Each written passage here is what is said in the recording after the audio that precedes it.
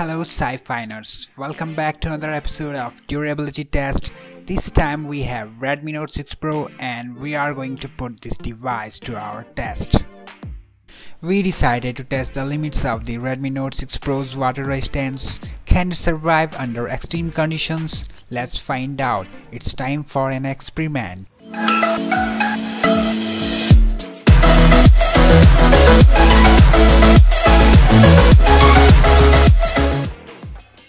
So before proceeding further, here is the quick disclaimer. Seriously guys, you don't try this at home, it could seriously damage your phone. Interestingly, the Redmi Note 6 Pro comes with a P2i coating that should give it an added layer of protection against the elements. There is no IP rating but the device should be able to withstand the occasional splash of water. But what will happen if you drop your phone into a lake or maybe into this bucket full of water? To answer these burning questions, we are doing this durability test all in the name of science.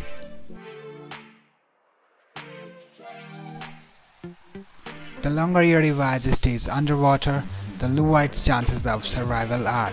You must dig in there and take that phone out of the water right away. Yes, even if it's in the toilet. The good news is that even non-waterproof phones these days are generally at least a little more resistant to water than phones from years past. Water resistant phones have become a major selling point for a number of high-end manufacturers.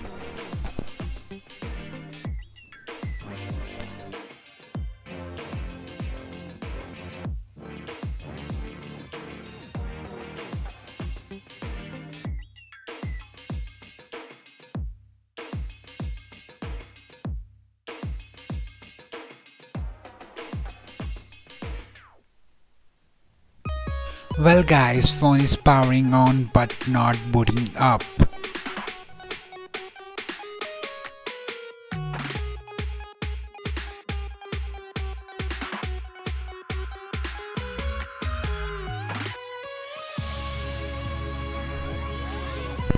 A small splash with or even a quick dip into fresh water might not pose any problem to a phone with the adequate water resistance rating.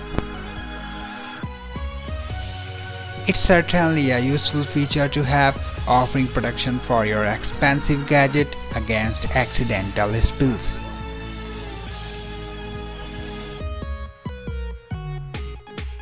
You can even take some wonderful underwater pictures these days, however much of the marketing doesn't really line up with the reality. Unfortunately, this is not the case so let's take a look at what you should really expect from a water resistant phone.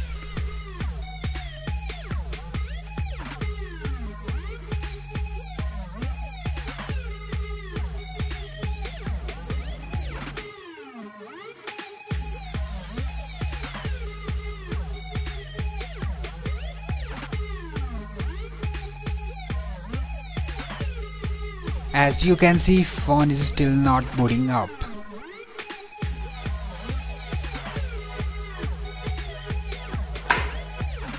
Similar situation with water depth. Take your handset too far down and the seals encasing your phone's inwards will likely buckle under the pressure.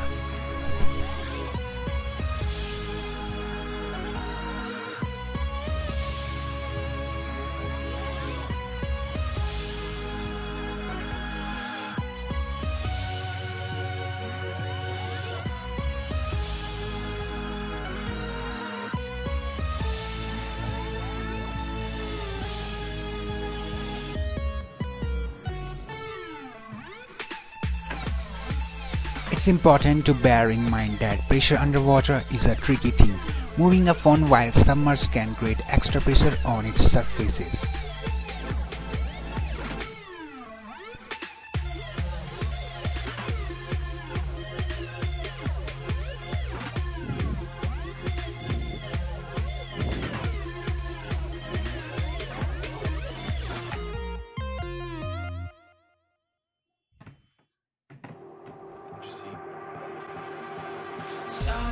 Ticks and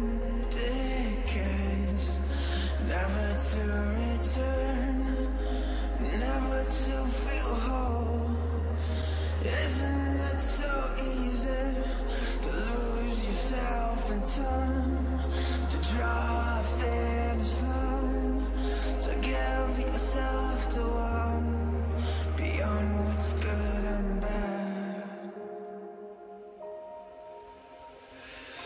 Kills me not to know.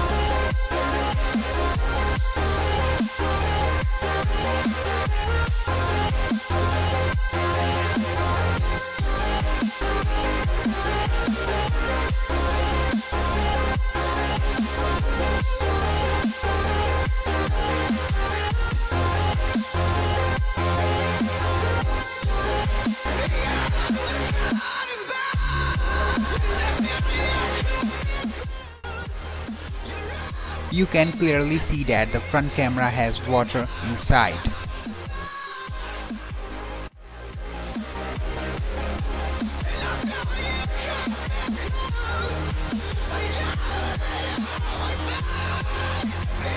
Our phone is not powering on which means it's dead and failed our test.